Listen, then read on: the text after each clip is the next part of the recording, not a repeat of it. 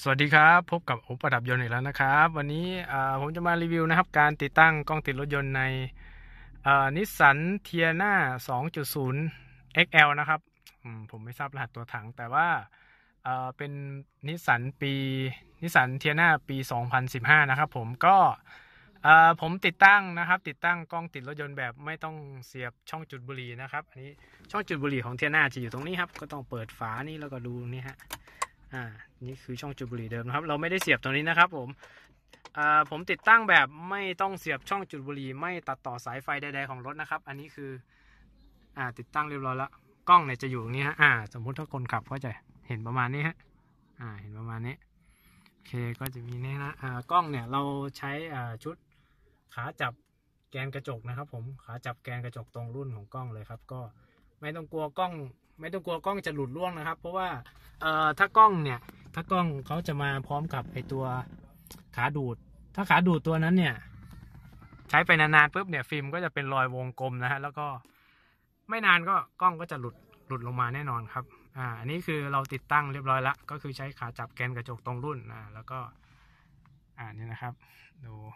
ไม่เห็นสายไม่เห็นอะไรไม่มีสายให้เกะกะนะครับ อ่าทีนี้ อ่ากล้องก็จะทำงานตามการใช้งานของรถนะครับ เดี๋ยวผมจะสตาร์ทรถนะครับ ก็กดทีเดียวปุ๊บเนี่ย กล้องก็เริ่มทำงานบันทึกอัตโนมัติเลยครับ อ่า เริ่มบันทึกเลยครับ ก็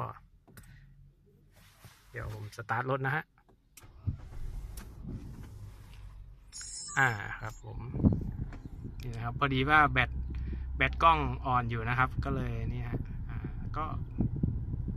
ใช้งานได้เปิดปิดตามอัตโนมัติตามการใช้งานของรถนะครับ เหมือนเสียบช่องจุดบุหรี่เลยครับผมก็เหมือนเสียบช่องจุดบุหรี่อ่าทีนี้ดูเราดูช่องจุดบุหรี่เดิมของรถนะครับ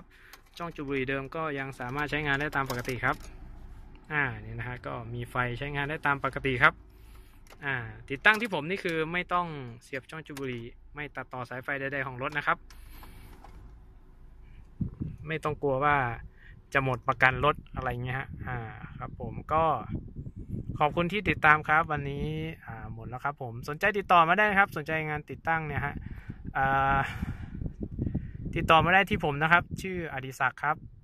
ชื่อเล่นชื่อเล่นโอครับโทรหาโอก็ได้ครับ แล้วก็เฟซบุ๊กผมอดิศักดิ์นักดีหลกนะครับ เบอร์โทร 0 8 4 0 2 8 2 2 5 0 หรือ Line ID อดิศักดิ์007 นะครับ ก็ ติดต่อมาได้ครับ โอเคครับ ขอบคุณที่ติดตามครับ สวัสดีครับ